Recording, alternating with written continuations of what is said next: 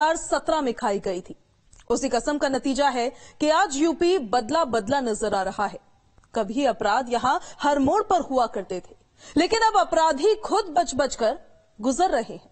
क्योंकि हर कोई जानता है कि यूपी में किए किसी भी जुर्म का हिसाब उसको देना पड़ेगा। चाहे मुख्तार हो या अतीक हो, हर माफिया इसी हिसाब को दे रहा है। तो यूपी का उसूल भी साफ़ है।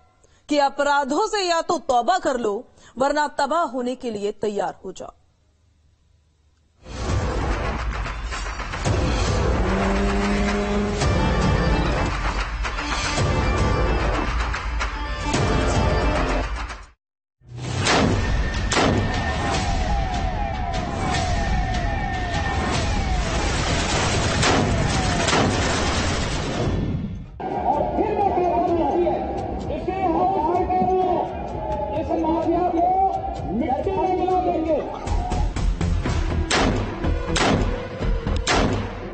छह साल से मैं जेल में हूँ। मेरा पूरा परिवार बर्बाद हो चुका है। सरकार ने कहा, मट्टी में मिला देंगे। तो मट्टी में तो मिल गए अब मट्टी में तो मिल गए हैं। जो लोग पहले उत्तर प्रदेश की कानून व्यवस्था को बता बताते थे, आज आप देख रहे होंगे, उनके सामने स्वयं के जान के लाले पड़ रहे हैं।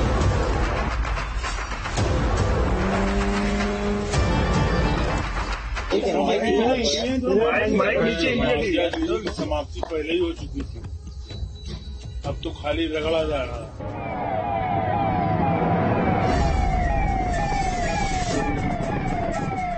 जब कोर्ट उन्हें सजा सुनाती है तो उनकी पैंटें भी गीली होती हुई देखती मार माफ़ी ज़िंदगी में कभी गलत नहीं करेंगे। गलत नज़र से भी नहीं देखने किसी इस बार माफ़ी चाहते हैं योगी की बस। छह साल तीन हफ़्ते एक दिन। ये सिर्फ़ एक वक्त नहीं है बल्कि यूपी को गंगा जल से पवित्र करने का वो शुभ काल है जिसकी शुरुआत सूबे में एक शपथ से हुई थी। आदित्यनाथ योगी ईश्वर की शपथ लेता हूँ।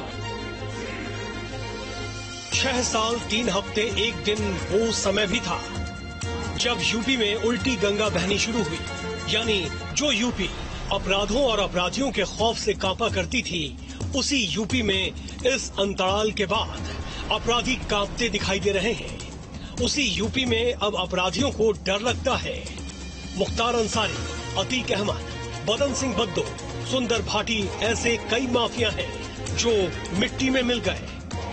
तो कई ऐसे भी हैं जिनका नंबर अभी आना बाकी है।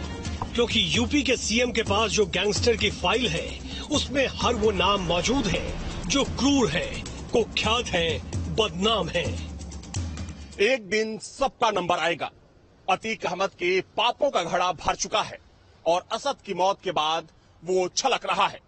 मुख्तार अंसारी जेल में बैठा, अपना हश्र देख रहा है। तो बद्दो पुलिस के डर से फरार है।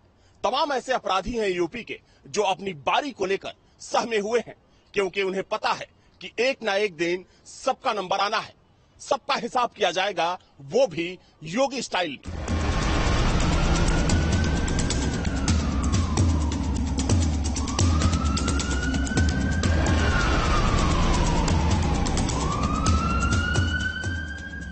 जहाँ ज़मीन देखी, कब्जा ली।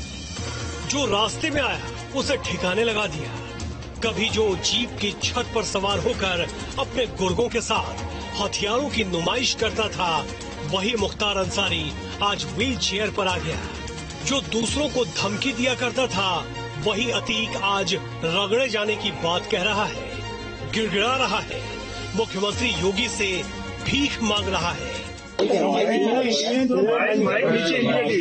समाप्ति पहले ही हो चुकी थी अब तो खाली रगड़ा जा रहा है। और ऐसा इसलिए है क्योंकि ऐसा कोई माफिया नहीं, जिसे यूपी के सीएम योगी आदित्यनाथ ने तोड़ा ना हो।